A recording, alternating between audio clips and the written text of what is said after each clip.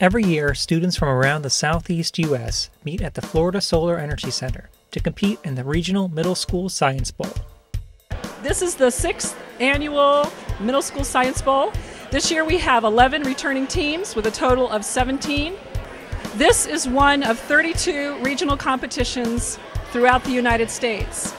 The first half of the competition is designed to select the top eight teams from the initial 17. This is done through a group multiple choice elimination round. These teams must return on May 3rd to compete with hydrogen model cars. Each team is provided a fuel cell and parts from General Motors and the Department of Energy. This provides students a chance to apply their scientific knowledge to practical problems. Not only the students are engaged at this event, the teachers from winning schools take part in a fuel cell workshop, after which everyone gets a much deserved break. It was very, very nerve wracking, it was, but it was very cool.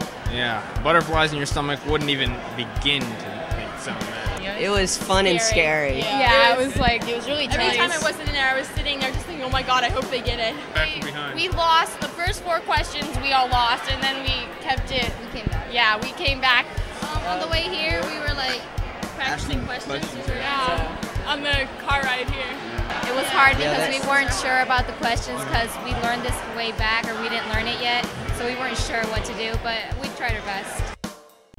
The remaining eight teams compete against each other in a double elimination round robin.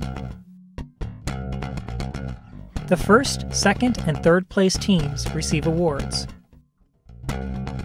If this sounds interesting to you, check out the Energy Whiz Olympics on May 3rd. There will be solar and hydrogen car races, as well as a full size solar electric energy innovations competition. To learn more about this and other educational events at the Florida Solar Energy Center, contact Susan Schleith at 321 638 1017 or via email at susan at fsec.ucf.edu.